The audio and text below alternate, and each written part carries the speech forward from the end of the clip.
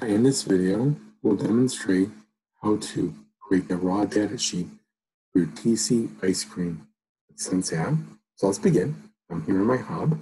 I'm going to go ahead and click on the TC ice cream app and click open. And again, I have the any public sheets I have that appear up here in my app overview. My other sheets here, I have the template, the product analysis sheet and the state analysis sheet. So I'm gonna go ahead and create a new sheet. Click on template, duplicate. we call this raw.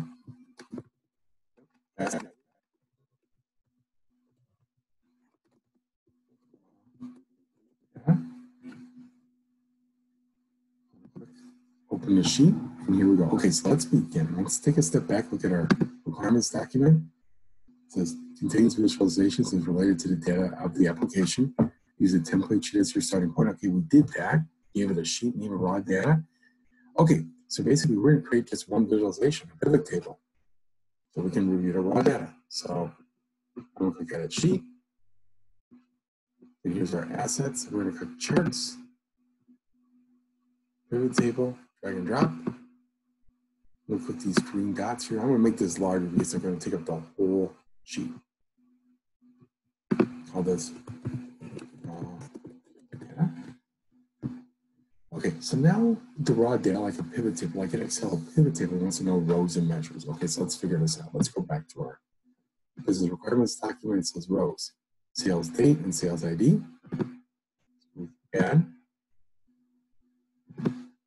sales. Ah, here we go, sales date. And notice here, I can go over here to mention another dimension. To add in the sales ID. Okay, so those are my rows. And let's see here, let's measures. It wants to know what the columns. The measure, it says here, wants quantity sold. So we'll just we'll do that right now. Go ahead and the quantity sold. It's always the sum. And then here we'll go here, we'll expand quantity sold. You need to give it a label here that says quantity sold. I'd like to change this to decimals. Okay. But it doesn't give us everything we want. So we need to add now, if we go back up to data, pretty easy, with columns. So we want to add some columns. Let's go back to our requirements document. It says here columns, name, product name. Do flavor name. Now let's add another column.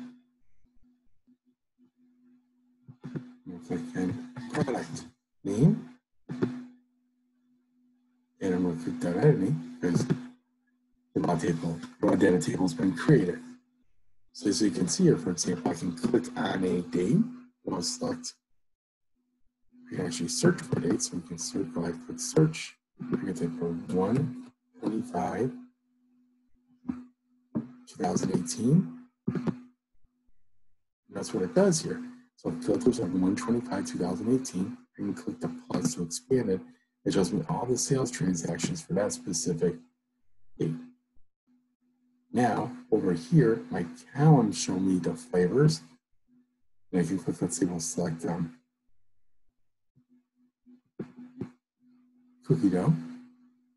I click the plus here for cookie dough. It expands it out, so it shows the ice cream bars, ice cream beds, ice cream gallon, etc. So I can say, okay, so I can click on this sales transaction. Checks, it says here, okay, you sold this day, this transaction, this is the ice cream flavor in the specific product. So I can break down the data right down to specific elements. That is what I sold, the product, and the flavor. I can grab my selection to bring the show all my data again.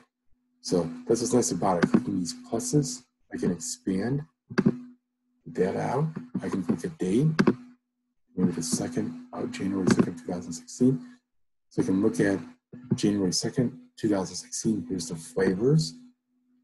I can look at strawberry, ice cream mini cakes 14. Let's look at cookie dough. So I sold on January 2nd, 2016, cookie dough, I sold 16. Only sold ice cream bars and ice cream pints is 15. So I can look and can stick it ice cream pints. So on January 2nd, 2016, I can look at my ice cream pints. I sold cookie dough here and chocolate chip, Rocky Road. I can now go take a click the and it shows me my sales transactions, if you would, for those particular dates. So January 2nd, I had four sales transactions, 15, 4 and 12, and an 8. Obviously, I can clear my filters in time by clicking the X's here, or I can just click here to clear all selections. And that concludes this video.